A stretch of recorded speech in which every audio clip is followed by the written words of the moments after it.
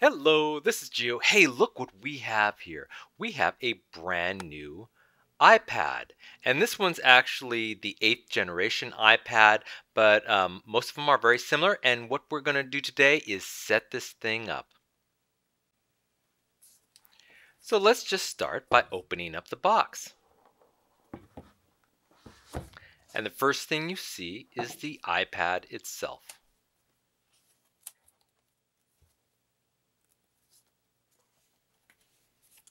And then you have the USB power adapter and the USB lightning cable.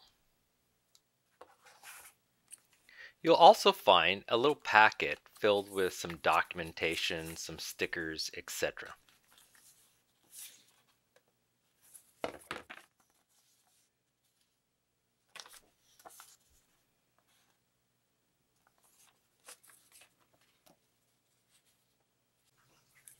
So getting back to the iPad, let's do the funnest activity of them all, peeling off the plastic protective cover.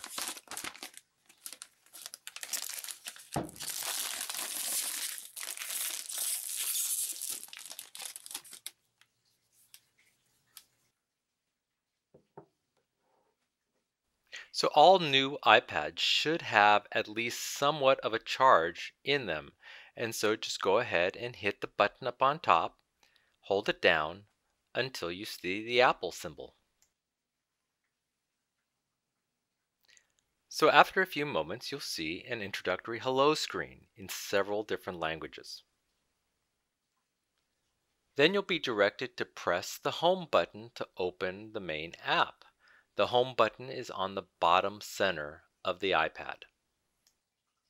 So the first screen is asking you which language you prefer the iPad to display.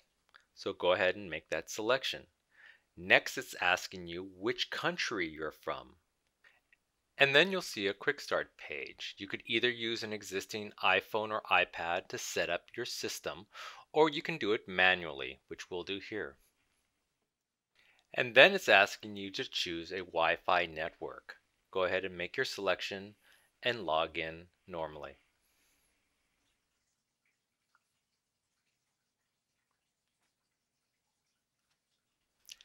And then hit next. You'll then get a page notifying you that it may take a few minutes to activate your iPad, and then you'll get a data and privacy page where you can either learn more or just hit continue. So here you'll be setting up your home button to recognize your fingerprint. So here your iPad will ask you to depress either a thumb or fingerprint on the home button several times until it recognizes it and records your fingerprint.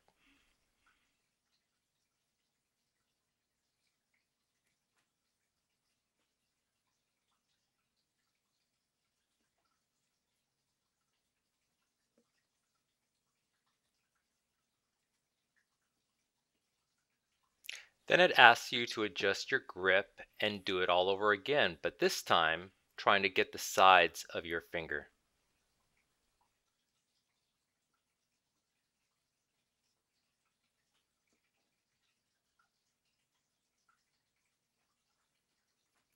Next, it asks you to enter a unique six-digit numeric passcode.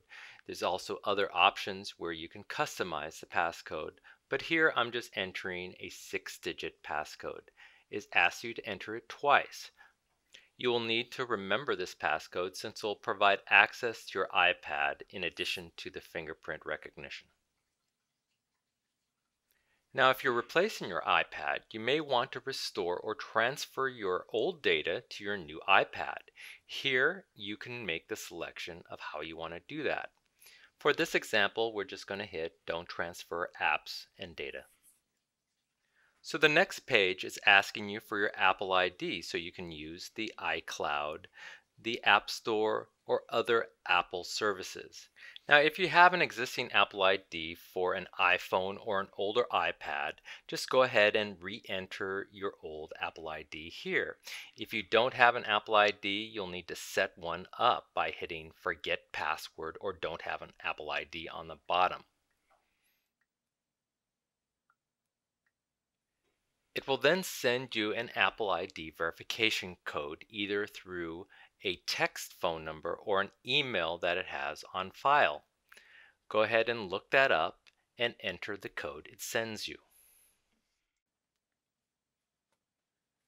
And of course, you need to know the terms and conditions for using your iPad. Just go ahead and review the information provided and hit agree.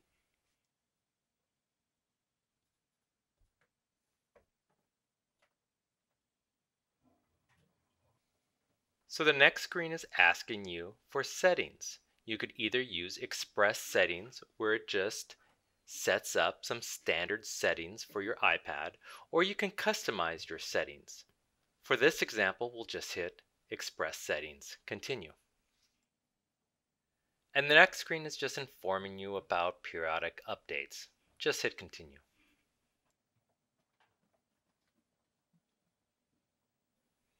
And here you can use a credit card or debit card to set up Apple Pay, which you can use to pay for different apps or services. For this example, we'll just set up later. The next screen tells you about iCloud Keychain, which is an encryption tool to help secure passwords and credit card information. For this example, we'll just hit continue. So next, if you want to set up Siri, which is a voice recognition software, you first have to record a number of phrases using your own voice so it can recognize how you speak. Hey Siri.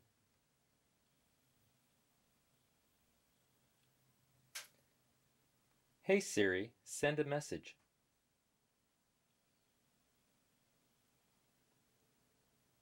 Hey Siri, how's the weather today?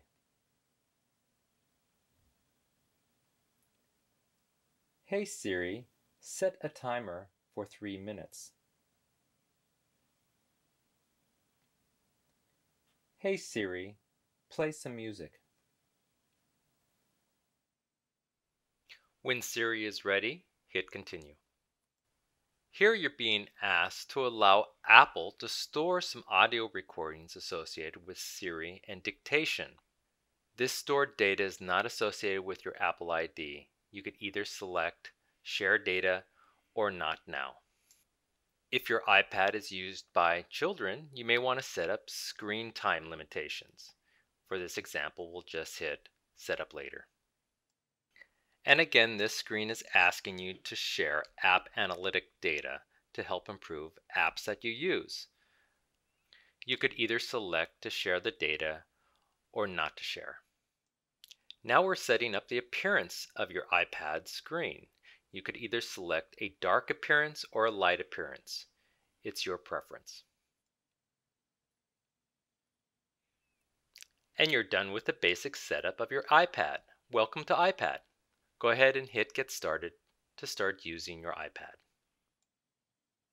And here you'll find that your iPad is already preloaded with many useful apps. You can also go ahead and hit the Settings app and change some basic settings in your iPad or just explore some of your other iPad app options. Well, I hope you've enjoyed this video and have found it useful. And if you have, please hit that like button at the bottom of the screen and even consider subscribing to my channel. I'll have many more videos to come. Bye bye.